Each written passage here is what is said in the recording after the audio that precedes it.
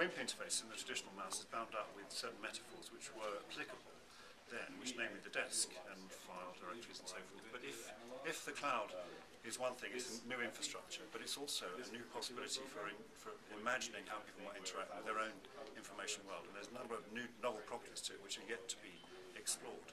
But the ways we want to exploit is by inventing hardware to let us address those issues. So we've devised basically a, a, a, kind of traditional mouse transformed. It's a mouse with six degrees of freedom, but with more properties. It also has a finger um, reader, so it can become unique to yourself. So a person would have their own mouse, which they can take with them wherever they are.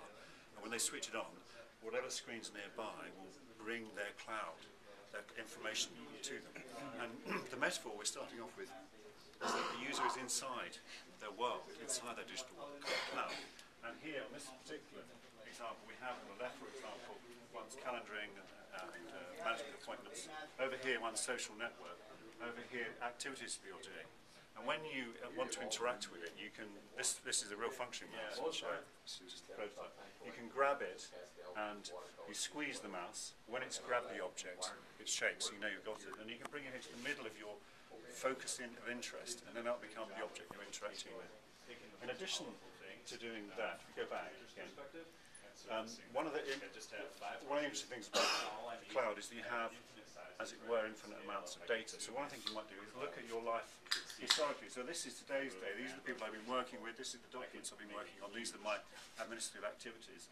I can also use the mouse to go through back in time and see different relationships, different threads of my life.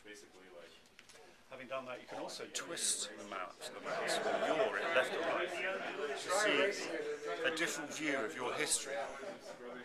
So here, for example, what we've done is we're just looking at your workload, how busy you've been, what kinds of things you're doing. So you can cut your world up differently. And a mouse like this, which in some senses is is technically quite straightforward, allows us to imagine a wholly different set of possibilities for interacting and new forms of interaction with new forms of content. Now, with this, we can now explore what you might do with new arrays of information about um, your activities or social networks.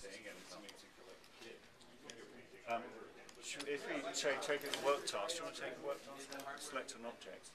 Um, different opportunities you might imagine here are, for example, if you take a message, bring a message or bring it into you, what this allows us to do is to create and illustrate different relationships that the cloud can enable. So here, for example, it's showing how I've been working with this particular object, as well as what administrative threads that particular document's been related to. Um, if you want to get rid of it, or if you want to, send it to someone, you can use this metaphor to drag it, for example, to other colleagues that are related in it. So you can create a different sense of the virtual world that you're operating within. Now, we should be honest, we've just built this, we've just got it working with some hard effort just a few weeks ago. And now we're trying to explore and experience what the new user interface will be. What it will be is something which we wanted to create through technologies like this, but also clever ways of web, web data mining, new ways of using metadata, trying to find new forms of metadata that might interact in new ways.